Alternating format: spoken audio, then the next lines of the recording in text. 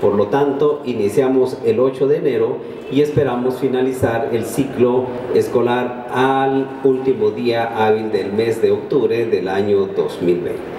Por otro lado, es eh, muy importante compartirles que estamos haciendo una distribución masiva de mobiliario para las escuelas del país a través de una cooperación que establecimos con el Ministerio de Desarrollo con quienes hemos eh, logrado hacer posible la distribución de más de 70 mil escritorios eh, en el territorio nacional. Hemos avanzado significativamente llevando a las escuelas eh, que tienen dificultades mobiliario que les permita recibir a los niños y a los jóvenes de una forma más adecuada. Igualmente estamos desarrollando una acción muy fuerte en cuanto al remozamiento de escuelas,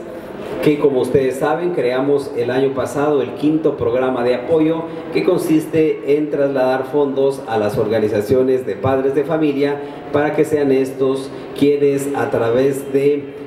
la em, comunidad puedan ir invirtiendo los recursos para mejorar las instalaciones educativas.